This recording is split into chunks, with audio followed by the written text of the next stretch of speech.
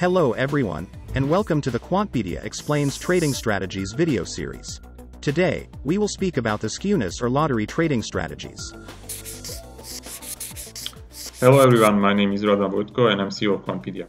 In uh, all of my uh, videos, I talk a lot about uh, price-based predict uh, predictors like momentum or some trend-following uh, strategies that use moving averages, etc., etc. Uh, but for today, I have a, a, different predictor for you. That's my uh, uh, personally favorite, and it's skewness. Uh, the skewness, so in probability theory and in statistics, the skewness is a measure of the asymmetry of the probability distribution. So what does the skewness mean?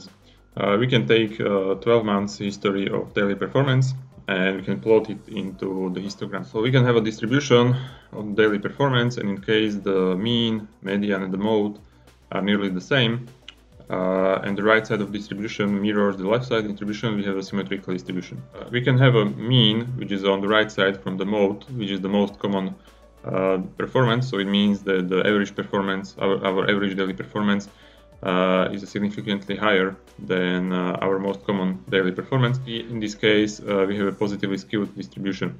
So it means that our asset has um, a lot of small losses and few extreme positive outcomes. This it can be a case, or mm, these are the assets that are very um, favorite, or they are very popular by retail traders. Uh, usually, those are the assets. Those are the assets like uh, small tech companies, uh, cryptocurrencies, biotech companies, etc. Those assets are sometimes called lottery assets. So it means you are paying a small amount of the money and you expect that you can win a lot. Mm, positively skewed assets, they are usually extremely overpriced. On the other hand, we have the negatively skewed asset. On a negatively skewed asset, we have a mean that is significantly smaller than the mode, which is the most common performance of the asset, or the mode is uh, significantly significantly higher. In this case, uh, we have a high probability of a small gain, but there are negative outcomes. Uh, these assets are usually underpriced compared to positively skewed assets. We can take a portfolio of multiple assets uh, and we can use a uh, skewness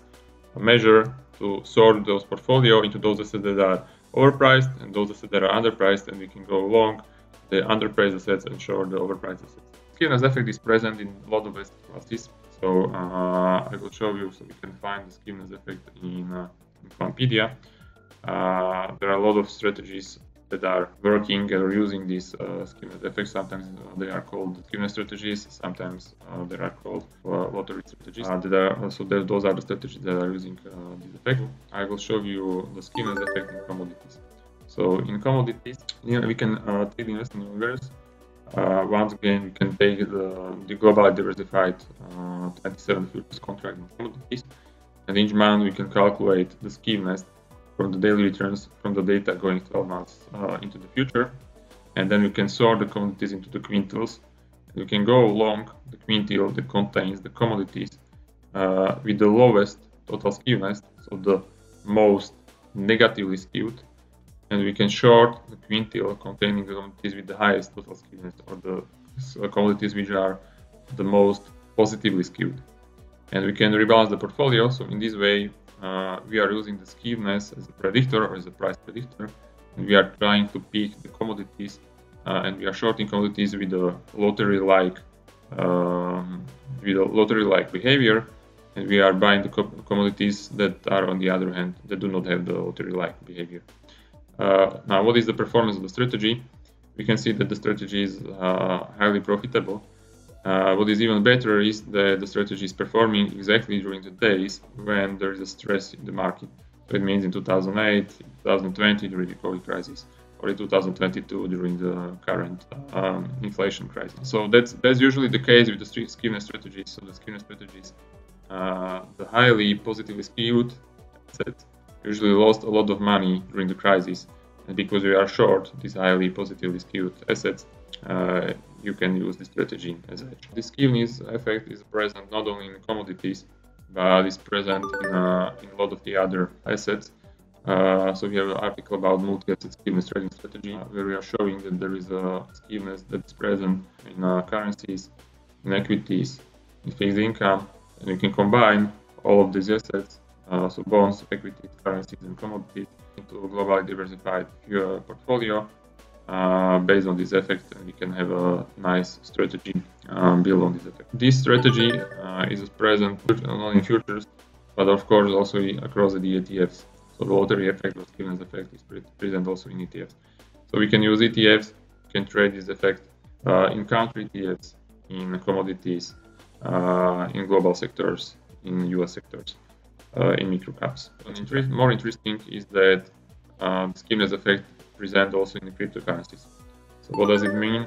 Uh, we can take an investment universe that consists of uh, 45 cryptocurrencies.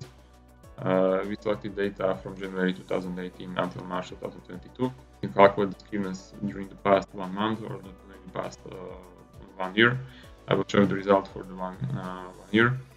So uh, in the yearly model, we can short the investment universe of the cryptocurrency based on the skewness measure and we can go along uh, the cryptocurrencies that are the mostly negatively skewed, and we can short the currencies with the highest positive skew.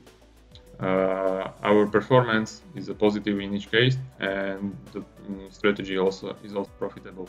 And what is the best is that it's not correlated a lot to whole cryptocurrency market.